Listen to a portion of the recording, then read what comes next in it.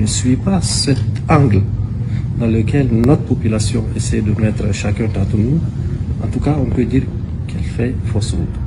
Donc je voudrais lui dire, par, le biais de votre micro, que nous apprécions vivement euh, cette élévation d'esprit, euh, cet de solidarité et ce travail qui consiste à, à faire en sorte que l'unité nationale soit encore resserrée.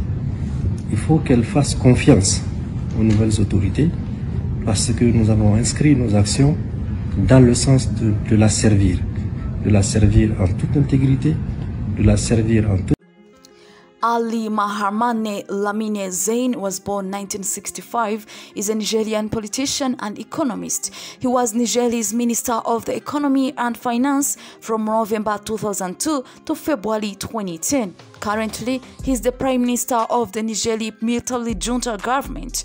On 10th August 2023, he was also appointed Finance Minister by the military government. Al Lamine Zeine was born in Zinder and graduated from the Center for Financial, Economic and Banking Studies in Marseille and Paris. He has worked as the resident representative of the African Development Bank in Chad, Ivory Coast, and Gabon. After serving as director of the cabinet of President Mohamed Tandja, Zeine was appointed to the government as Minister of the Economy and Finance on 24th October 2003. After the newspaper editor Boussada Ben Ali alleged that Zeine had stolen money that was part of an oil contract between Niger and the People's Republic of China, Ben Ali was arrested on 23rd January 2009 and sentenced to three months in prison for disseminating false information on 6 February 2009. Tandja was removed in a military coup on 18th February 2010 and his government was dissolved.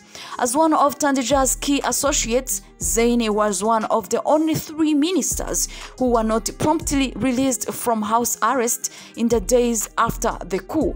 According to one of the junta leaders, Kano Djibrilla Hima Hamidou, the ministers still under surveillance had held very sensitive portfolios and therefore it was necessary to ensure their security.